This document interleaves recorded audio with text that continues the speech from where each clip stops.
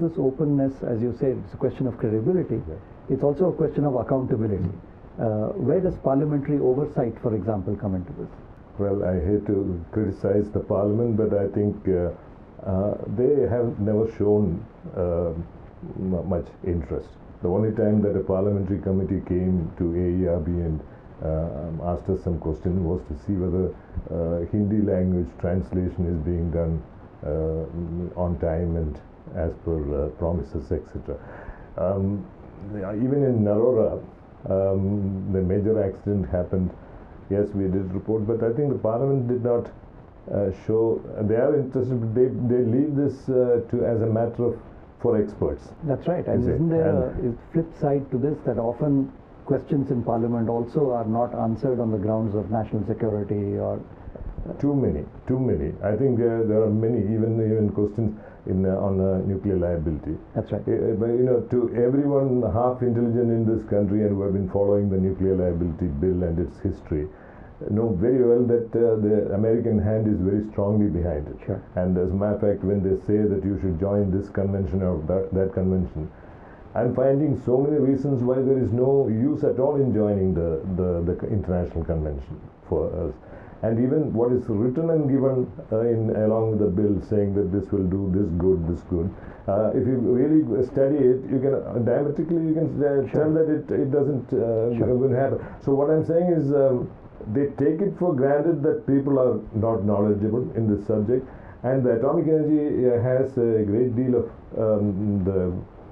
I think the there it is on their advice that uh, if a ministry is writing out something and uh, sending it, it is actually coming from the Department That's of right. Atomic Energy. Exactly. So the intent to confuse, intent to hide, very predominantly comes from That's the right. department, And the more you- and, and it comes actually from the, it stems from the Official secret That's Act. right. Exactly. And That's the point I misuse, was making. misuse of the Official Secrets That's why I was asking the question Right. about openness because the more open you make it, the more possibility there is at least for oversight in different. In, in the, in the same way, there is also the deficiency that uh, there are enough experts within the country in various various subdisciplines of Sure. atomic energy.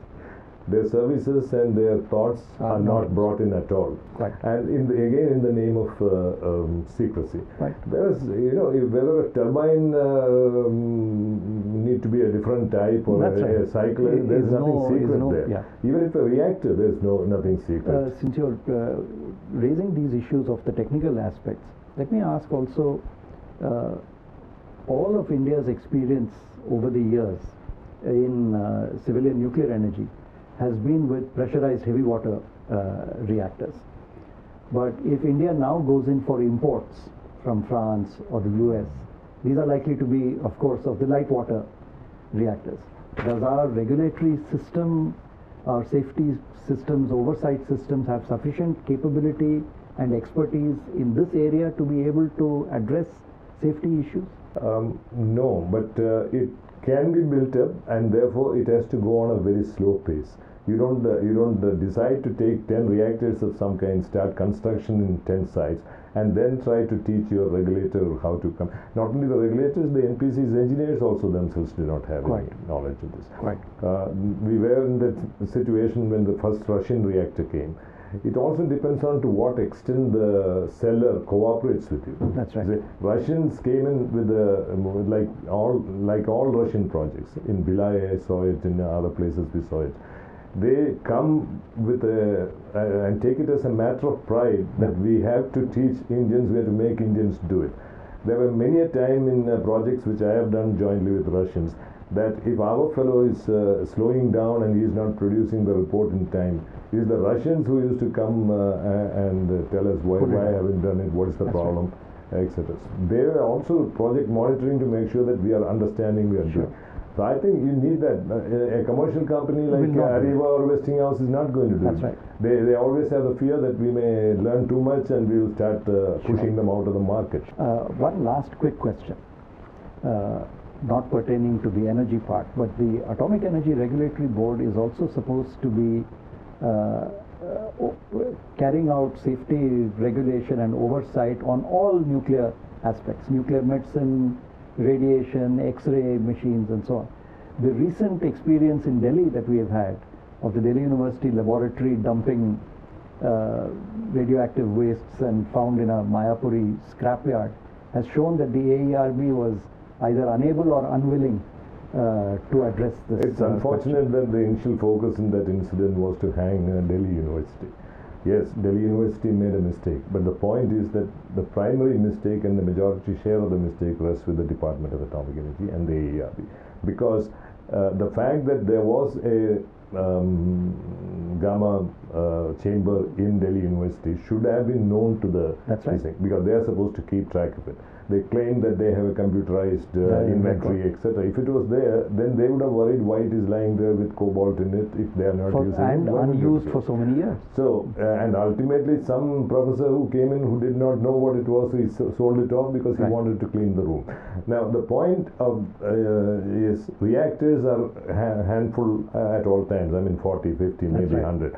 It can be handled with your own staff, and That's it right. may have to be handled with your own staff because the expertise required is also much higher.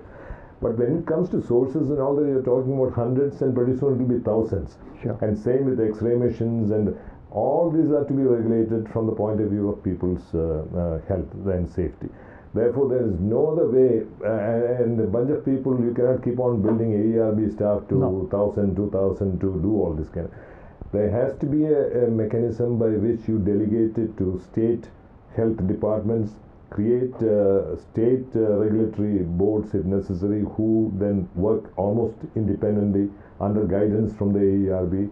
And punishment part of it, you, you say that if somebody infringes uh, a rule, then the punishment will be done by the central government because the authority is with the central government. When I was chairman, I started this with Kerala because I went and specifically discussed with the Kerala government, and I got all the uh, nuclear medicine and X-ray um, devices, industrial radiography in the state of Kerala to be monitored by a group there. And then uh, they said, what, what about the money? I mean, it will cost us money. I said, okay, I will, will allow you to charge uh, 2,000 rupees per year uh, per, per installation. That you, you give them a notice uh, or Right. without notice, you inspect them, and for all that uh, travel, we will give uh, 2,000 rupees plus whatever as, uh, expenses incident. And it started, it functioned.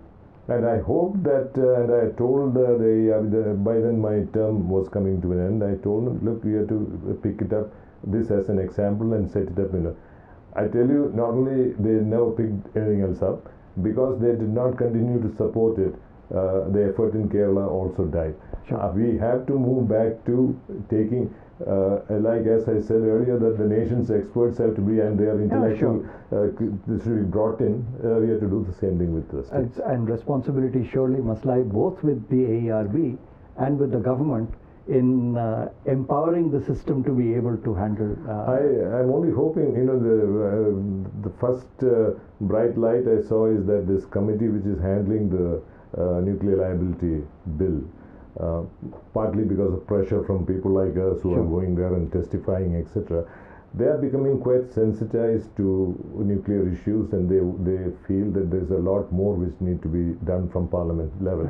I'm only hoping that they will they will uh, create a parliamentary committee on solely on atomic energy, uh, and that committee will be empowered to keep meeting and keep taking uh, uh, experts to come in and before Sure. them, and a lot more openness will come up. so thank you once again, Dr. Gopalakrishnan, for addressing a very complex issue in such a short span of time. Thank you very much. Thank you. Bye.